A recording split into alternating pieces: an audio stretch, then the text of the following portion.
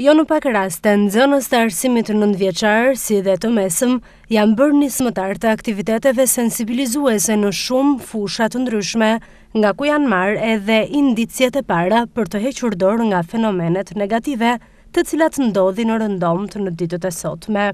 I tillë është edhe rasti i sotëm, ku nxënës të gjimnazit Leonik Tomeo në qytetin e Durrësit, në bashkëpunim me njëri-tjetrin dhe Senatin e Nxënësve, iu përgjigjën pozitivisht kërkesës për të dhuruar libra pranë këtij institucioni ku vuajnë dënimin e tyre një numër i konsideruar të burgosurish.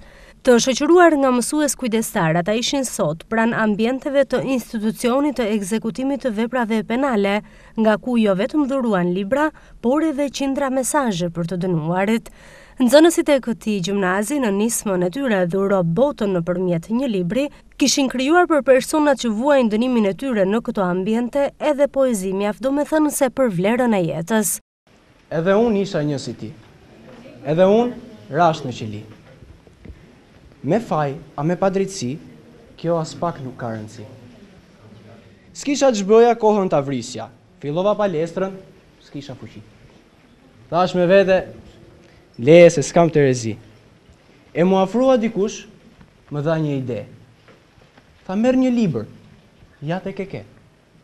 Me shpresën se librat e dhuruar sot nga këta nxënës do të lexohen nga të burgosurit që vuajnë dënimin e tyre, nëndrejtoresha e Gjimnazit Leonik Tomeo, Besa Tonuzi, u shpreh se nisma të tilla gjithmonë do të mbështeten nga nxënësit e këtij gjimnazi.